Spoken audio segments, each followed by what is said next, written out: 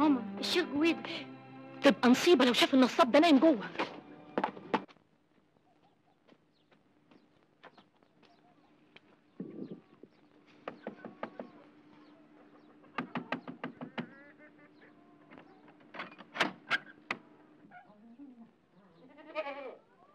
أما راجل متخلف صحيح. مش تخلي عندك ذوق. هو يعني خلاص مفيش تمييز إحنا مش خبطنا عليك صباح الخير السجن أول حاجة بتخرج من الزنزانه الجردل افضيه فين؟ إيه القرف ده؟ طب أعمل إيه يعني؟ لو كنت انت مكاني كنت هتعملي إيه؟ اتفضل اتفضل عندك الخلا بره اتفضل. حاضر أمرك أمرك. آه. ويفرق إيه الليل عن النهار عندكم هنا؟ طب ما أنتوا الثلاثه قدامي أهو. لو عايز أغدر بيكم ما فيش حد هيحوشني عنكم. لزومها إيه؟ الحبسة بس. معاك حق. المفروض يبقى فيه ثقة. هي دي الحاجة الوحيدة اللي هتريح الكل. ثقة وإخلاص. بعد إذنكم بقى عشان أنا محتاج أخرج الخلا فعلا. استنى أنت ما تقدرش تخرج من هنا دلوقتي ويمكن طول النهار. امم جاي لكم ضيوف مش عايزينهم يشوفوني مش كده؟ بالظبط كده. طب آخد الصفيحة وأخش بيها الزنزانه تاني؟ اتفضل الحمام بتاعنا تحت أمرك. بالضروره يا أحكام مش كده؟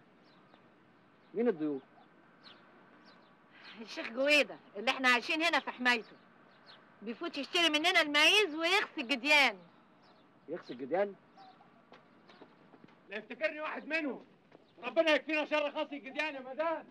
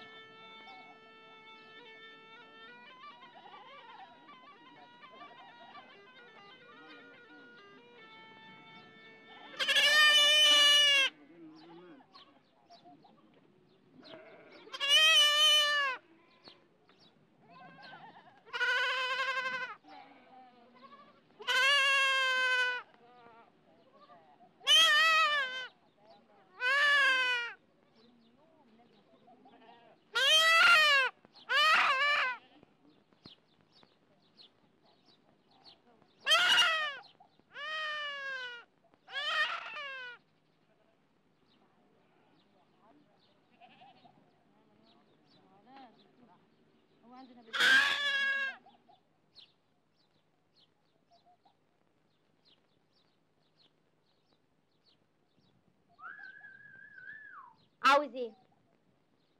وبعدين لما تكلمني تقوم تقف. حاضر. بس أنا هقف من باب الأدب عشان أنا مش شغال عندكم. وبعدين كمان ما أحبش حد يبيع ويشتري فيا. من غير كلام كتير. عايز إيه؟ تغيري من طبعك شوية. الكلام اخده وعطا. وبعدين انت زعلانة مني ليه؟ عشان أنا قلت الحقيقة. أنا صحيح قلت الحقيقة. بس مش أنا اللي عملتها. وكلنا واخدين مقالب في أهالينا. مش أنت بس. يعني أنا مثلا أبويا الله يرحمه. هو أنت كان لك أب؟ شوفي بقى حلوة. أنا الرد عندي جاهز. بس خايف تتحمقي وتتزرزري. والجماعة البدو بره. إذا كنت عاوزة ما تتلسعيش بالنار بلاش تولعيها. أسف. وأنا قبلت الاعتذار. أما أحكي لك بقى عن المقلب اللي أنا شربته في أبويا زي حضرتك كده بالظبط. وأنا عيل صغير عندي سبع سنين. كنت فاكر أبويا وزير. كان عنده بدلة سودة وجزمة سودة دايما بتلمع وقميص منشي وكرافتة سودة. هو يلبس الطقم ده؟ وزير. وفي يوم قلت له عاوز أروح معاك الشغل يا بابا. خدني معاه. قبل ما نخش على الوزارة دخلنا على أسوان. وهناك لقيته بيقدم القهوة السادة المعزين من وزير؟ لجرسون في ميتم؟ آه والله. وإحنا صغيرين كنا بنشوف الدنيا حسب هوانا حسب تخيلنا. لكن لما بنكبر بنكره حتى السنين اللي خلتنا نكبر. وتخلينا نشوف اللي إحنا ما كناش عايزين نشوفه. تشرب شاي؟ صافي يا لبن.